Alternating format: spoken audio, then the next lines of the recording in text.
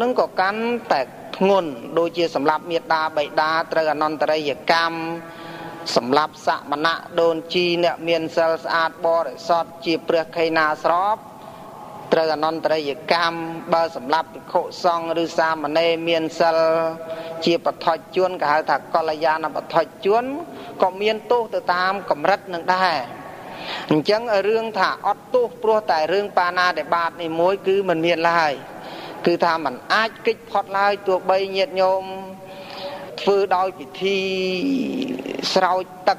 ងូតទឹកលាងបាបឬក៏រកគ្រូកាត់គ្រោះបញ្ជាផុតអន្តរាយយ៉ាងម៉េចព្រោះតែយើងធ្លាប់ធ្វើអំពើបាបកម្មនឹងទេក៏មិនអាចទៅរួចដែរញាតិញោមពុទ្ធបរិស័ទកាលណាបើយើងសាងទៅហើយអំពើនឹងវាអាចដុសជាប់នៅក្នុងចិត្តរបស់យើងវាបានថត់ជាប់ ជាមួយនឹងចិត្តរបស់យើងទៅហើយវិធីមួយយ៉ាងមានតែវិធីចម្រើន មានតែវិធីចម្រើននៅគុណធម៌ឡើងវិញជំនួសនៅអំពើបាបដែលយើងធ្វើទាំងអបាលមកហ្នឹងអញ្ចឹងហើយបានមានសេចក្តីមួយនៅក្នុងចតុកនិបាតអំពីសតនបៃដកអង្គតរនិកាយគឺសំដែងអំពី យើងទាំងអស់គ្នាមិនគួរណាធ្វើនៅសេចក្តីប្រមាថក្នុងទី4ស្ថានណាមិនគួរប្រមាថនៅក្នុងទី4ស្ថាន ទី1កាយទុច្ចរតបហានៈគឺយើងលះបង់នៅទុច្ចរិតហើយយើងកុំប្រងើយកន្តើយើងត្រូវតែ ប្រព្រឹត្តនៅកាយសុចរិតឡើងវិញទី2វិជ័យទុច្ចរិតតបហានៈលះបង់នៅវិជ័យទុច្ចរិតហើយ ត្រូវតែធ្វើនៅអំពើវិជ័យសុចរិតជំនួសវិញហើយទី3គឺបណោទុច្ចរិតតបហានៈគឺលះនៅអំពើមនោទុច្ចរិតលះលះនៅអំពើអាក្រក់ក្នុងផ្លូវចិត្តហើយយើងត្រូវតែបំពេញសេចក្តីល្អប្រព្រឹត្តទៅជាសុចរិតគឺមនោសុចរិតឡើងវិញហើយទី4គឺមិច្ឆាទិដ្ឋបហានៈគឺលះ នៅមិច្ឆាទិដ្ឋិហើយធ្វើនៅសមាទិដ្ឋិឡើងវិញអញ្ចឹងបើសិនជាយើងធ្លុះធ្លោយដោយប្រការណាមួយបានសាងនៅអំពើបាបកម្មដោយសារតែទោសៈដោយសារតែមោហៈគឺការវង្វេងវង្វាន់ផ្លិចភ្លៀងស្មារតីដោយប្រការណាមួយហើយយើងត្រូវតែរៀនលះបង់រៀនជំរះនៅអំពើបាបកម្មនឹងតាមរយៈហេតុ ទាំង4យ៉ាងនេះឯងគឺថាយើងលះកាយទុច្ចរិតហើយយើងត្រូវតែ ប្រព្រឹត្តកាយសុចរិតវិញមិនមែនគ្រាន់តែលះហើយមិនធ្វើនៅកាយសុចរិតទេ គឺត្រូវតែធ្វើឡើងវិញ ដើម្បីជំនួសការដែលយើងជំនួសនៅអំពើទុច្ចរិតដោយការធ្វើនៅអំពើសុចរិតនឹងឯងគឺដើម្បីសាងនៅអំពើល្អសាងនៅកុសលធម៌ដើម្បីឲ្យ កុំឲ្យផលនៃអកុសលកម្មដែលយើងបានធ្វើកន្លងទៅហើយនឹងវាលិចមុខឲ្យចេញមុខឲ្យផលធ្វើឲ្យយើងធ្លាក់ទៅក្នុងអបាយភូមិដូចនៅក្នុងពុទ្ធសាសនាព្រះសម្មាសម្ពុទ្ធព្រះអង្គទ្រង់ត្រាស់សម្ដែងថាភិក្ខុណាមួយបានសម្លាប់មនុស្សត្រូវអាបត្តិបរាជិកប៉ុន្តែបើសិនជាភិក្ខុនោះឯងបានខមាទោស ព្រមទាំងភ្ញាក់ខ្លួនតាន់ពេលវេលាហើយលះបង់នៅអំពើបាបកម្មនឹងសឹកអំពីភេទបព្វជិតហើយទៅប្រព្រឹត្តជាឧបាសកល្អជាឧបាសិកាល្អជាអ្នកប្រព្រឹត្តធម៌ដ៏តឹងរឹងបានល្អគឺឋានសួគ៌មិនអាចបិទទ្វារចំពោះបុគ្គលនោះឡើយអញ្ចឹងនៅក្នុងន័យនេះបានខ្ញុំកណាសូមលើកយក នៅសេចក្តីពីខាងដើមនេះគឺដើម្បីបញ្ជាក់ថាបើសិនជាយើងធ្វើនៅអំពើបាបកម្មណាមួយហើយយើងត្រូវតែអប់រំចិត្តលះបង់អំពើបាបកម្មនឹងហើយខំធ្វើនៅអំពើល្អជំនួសនៅអំពើបាបកម្មនឹងវិញ កាលណាបើសិនជាអំពើល្អដែលយើងធ្វើនឹងបានច្រើនពេលណាហើយអកុសលដែលយើងបានធ្វើនឹងឯងវាអត់មានមុខចេញផលឲ្យ ករណីដូចជាព្រះមហាអង្គុលីមាញាតិញោមបានស្គាល់ហើយអង្គុលីមាដែលជាឃាតករដៃឯកណាសម្រាប់មនុស្សរាប់ម៉ឺនរាប់ពាន់នាក់ណាដើម្បីតែអំណាចណាដើម្បីតែចង់បាននៅយុះចង់បាននៅបនស័កចង់បាននៅគេឈ្មោះថាជាអ្នកអស្ចារ្យនៅក្នុងលោកគាត់បានសាងនៅអំពើបាណាតិបាតណាញាតិញោម គឺថាដោយអំណាចនៃការញុះញង់អំពីសាស្ត្រាចារ្យរបស់ខ្លួនណាបើសិនជាអ្នកសម្លាប់មនុស្សបានច្រើនទៅអ្នកនឹងមានកិត្តិយសគេឈ្មោះល្អតាមពិតទៅលោកគ្រូនឹងគឺមានបំណងខ្លាចកូនសិស្សនឹងចាស់ជាងខ្លួនឲ្យកូនសិស្សទៅសាងនឹងគឺដើម្បីឲ្យប្រជាជននៅក្នុងភូមិស្អប់ខ្ពើមកូនសិស្សនឹង ឬក៏អាញាធរដែនដីនឹងចាប់កូនសិស្សនឹងដាក់គុកទៅឲ្យអស់ជីវិតកុំឲ្យល្បីល្បាញជាងខ្លួនអញ្ចឹងក៏ប្រើកូនសិស្សនឹងឲ្យសម្លាប់ដោយកុហកថាបើអ្នកសម្លាប់បាន1000នាក់អ្នកនឹងទទួលនៅគេឈ្មោះល្អហើយជាមនុស្សមានអំណាចខ្លាំងនៅក្នុងโลกនេះអញ្ចឹងក្រោយពីសាងនៅមនុស្សឃាតអស់រាប់ពាន់អ្នកមកញាតិញោមទីបំផុតណា អង្គូលមាបានដូរចិត្តគំនិតដោយសារតែឧបនិស្ស័យនៃការជួបជាមួយនឹងព្រះ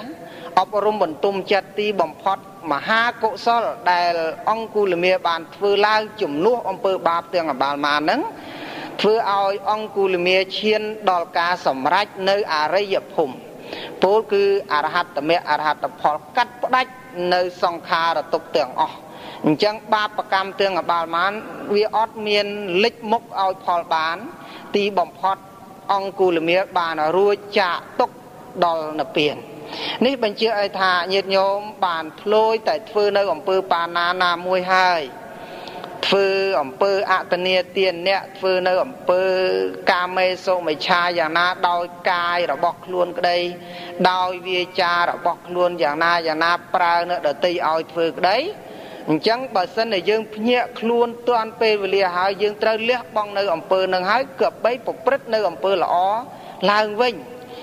ហ្នឹងបើសិនតែយើងសន្សំនៅអំពើល្អបានច្រើនអំពើល្អហ្នឹងហើយវាអាចជូនដំណើរវិញ្ញាណចុតិបដិសន្ធិរបស់យើង ទៅក្នុងសុគតិភព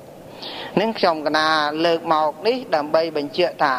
ការលះបង់នៅអំពើបាណាតិបាតហើយ នឹងការធ្វើនៅអំពើកុសលឡើងវិញពោលគឺមិនធ្វើនៅអំពើបាណាបែរមកធ្វើនៅការសង្គ្រោះដោយតាំងចិត្តមានមេត្តាព្រមវិហារធម៌គ្របដណ្ដប់ទៅលើសពសត្វទាំងអស់សូម្បីតែសត្វដែលយើងបានសម្លាប់ទៅហើយក៏យើងផ្សព្វផ្សាយនឹងសូមខមាទោសនេះចាត់ទុកថាទ្វាឋានសួគ៌ទ្វានិព្វានមិនអាចបិទមិនអាច បិទបាំងចំពោះបុគ្គលអ្នកធ្វើនៅអំពើមនុស្សឃាតឬក៏មនុស្សអឺសពសត្វនឹងបានឡើយនឹងវាលែងតែទោសធ្ងន់ដូចជាសម្លាប់ព្រះអរហន្តសម្លាប់មេដាបៃតាឬក៏សម្លាប់អឺមនុស្សដែលមានគុណធម៌ខ្ពស់អានឹងឋានពៀននឹងត្រូវបិទហើយត្រូវបិទដូចជា អជាតសតរាជចឹងអជាតកុមារដែលសម្លាប់បៃតាខ្លួនឯងនឹងព្រះសម្មាសម្ពុទ្ធព្រះអង្គទ្រង់ប្រោសប្រទៀនសម្ដែងធម៌មើលទៅញាតិញោមនៅក្នុងសាមញ្ញផលអសោតគឺមានសេចក្តីពឹស្ដារល្អណាស់ប៉ុន្តែនៅតែអជាតកុមារនឹងឯងមិនអាចឆោងចាប់យកនៅគុណធម៌បានឡើយពីព្រោះបានផ្ដាច់ផ្ដិលនៅអាយុជីវិតឪពុកខ្លួនឯង ធ្វើឲ្យឪពុកខ្លួនឯងបាត់បង់អាយុជីវិតធ្វើឲ្យខ្លួនឯងត្រូវទោសដល់អនន្តរយកម្មជាហេតុនាំឲ្យទ្វានិព្វាននឹងបិទមិនឲ្យកុមារអាជាតិសរាជនឹងចូលទៅកាន់បាននេះបញ្ជាក់ឲ្យឃើញថាទោសបាណាដែលបាតវាមានទោសធ្ងន់អញ្ចឹងប៉ុន្តែទោះបីយ៉ាងណាក៏ដោយញាតិញោមអំពើដែល អាជាតិកុមារដែលបានធ្វើទាំងអបាលមាហ្នឹងអាស្រ័យតែការសែបគប់ជាមួយនឹងព្រះសម្មាសម្ពុទ្ធធ្វើឲ្យប្របាទអាជាតិទរាជនឹងឯងបានជួយទំនុកបំរុងពុទ្ធសាសនាខ្លាំងណាស់នឹងពុទ្ធសាសនានឹងបានរីកចម្រើនចុងក្រោយក៏ដោយសារអាជាតិកុមារដែលបានភ្ញាក់ខ្លួនទឿនពេលវេលាបានប្រព្រឹត្តប្រតិបត្តិធ្វើឲ្យ អំពើដែលជាកុសលដែលអាជាតិកមានឹងឯងបានសន្សំនឹងអាចបន្ថយទោសទៅជានៅមិនបានទៅឆេះនៅក្នុងអវជ័យមហានរុទេ គឺត្រឹមតែលោកកណ្ដនរុតែប៉ុណ្ណោះ នេះអញ្ចឹងញាតិញោមពុទ្ធបរិស័ទទាំងឡាយគឺបីពិចារណាថាទោសនៃការធ្វើនៅអំពើបាបណាហ្នឹងវាធ្ងន់អញ្ចឹងវាធ្វើឲ្យយើងរងទុក្ខវេទនានៅក្នុងសង្សារវដ្តវែងឆ្ងាយតទៅទៀតហើយញាតិញោមក៏បីជ្រាបថាការដែលយើងសាងនៅអំពើបាបកម្មជាពិសេសគឺបាណារិបាតហ្នឹងគ្រប់ជាតិណានាយើងតែងតែមានអាយុខ្លីណាពីព្រោះការសម្លាប់គេ ហុចផលមកវិញគឺអាយុខ្លីហើយញាតិញោមកើតនៅក្នុងមនុស្សមានទ្រព្យសម្បត្តិព្រោះតែញាតិញោមបានធ្វើនៅទានមានសម្បល់ល្អព្រោះបានធ្វើនៅសិលណាមួយស្អាតស្អំមានទ្រព្យសម្បត្តិមានកូនមានចៅមានបងប្អូនញាតិមិត្តច្រើនអឹកអធឹកនៅក្នុងជីវិត នៃមនុស្សមែនប៉ុន្តែបើសិនជាញាតិញោមធ្លាប់ធ្វើនៅអំពើបាណាពោលគឺការផ្ដាច់ផ្ដាល់អាយុជីវិតគេអញ្ចឹងជាតិនឹងបើកម្មនឹងហុចផលមកញាតិញោមអាចស្លាប់ទាំងក្មេងបើសិនជាការសាងនៅអំពើបាណាដែលបាតក្នុងអាយុវ័យក្មេងនឹងมันអាចនឹងលះបង់มันអាចនឹងបាត់បង់បានទេកម្មអំពើបាណានឹងវាអាចជាប់តាមយើងរហូតអស់ កាលដរាបណាដែលយើងមិនទាន់កាត់ផ្ដាច់ជាសមុឆេតនៅអកុសលកម្មទាំងអស់នោះបានដរាបនោះយើងត្រូវតែមានការទទួលសោយនៅផលនៃបាបកម្មនឹងដដែលនេះខ្ញុំកណាសូមលើកឡើងបំពេញបន្ថែមទៅលើប្រធានបទដែលព្រះមហាថៃបានដាក់មកប៉ុណ្ណេះ ខ្វះខាតយ៉ាងម៉េចយ៉ាងម៉េចសូមឲ្យព្រះមហាថៃជួយបំពេញបន្ថែមថាតើអំពើបាណាតិបាតនឹងវាមានពីវរាយ៉ាងម៉េចខ្លះបើមិនសម្លាប់ផ្ដាច់ផ្ដាល់អាយុជីវិតគេដាច់ទេគ្រាន់តែទុកឲ្យគ្នារស់ទាំងតដទាំងលំបាកព្រោះតែកាយវាចារបស់យើងហ្នឹងតើយ៉ាងម៉េចយ៉ាងម៉េចអញ្ចឹងក្នុងពេលនេះខ្ញុំកណាសូមបញ្ចប់ប៉ុណ្ណឹងទុកពេលវេលាឲ្យ ព្រះអង្គបំពេញកណាអញ្ចឹងសូមឲ្យញាតិញោមទាំងអស់គ្នាតាំងចិត្តត្រេកអររីករាយហើយអនុមោទនាសូមអនុមោទនាសាធុសាធុញាតិញោមពុទ្ធបរិស័ទព្រះករុណាគ្រប់ព្រះអង្គទៅបានស្ដាប់នៅការបកស្រាយព្រះធម៌របស់ព្រះអង្គធម្មបាល ដែលបានអធិប្បាយរៀបរាប់បន្ថែមសេចក្តីទៅលើទោសរបស់បាណាតិបាតឲ្យឃើញអំពីទុកទោសគ្រោះថ្នាក់នៃការកាប់សម្លាប់នៃការបៀតបៀនជីវិតមនុស្សសត្វនៅក្នុងโลกនេះ គឺជាការចងគួចឆ្វាក់នៅពីវេរានឹងឲ្យចេះតែបន្ត